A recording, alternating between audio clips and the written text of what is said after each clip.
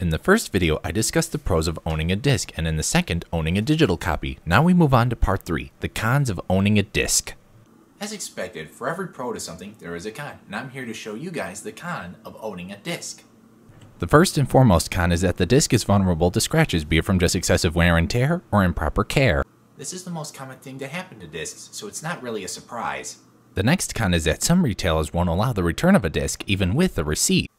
Can understand that, and it holds true with PC software in general because of a CD key.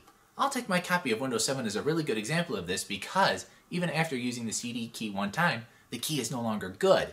More importantly, would you want to buy a disk that's already been used and scratched? I wouldn't. Even true is that in order to get Windows reactivated, you'll have to call tech support, and that can take up to at least 45 minutes. While on topic of the CD key, another con is that some people would stoop to piracy and give the CD key with said disc to someone who hasn't legally paid for a copy.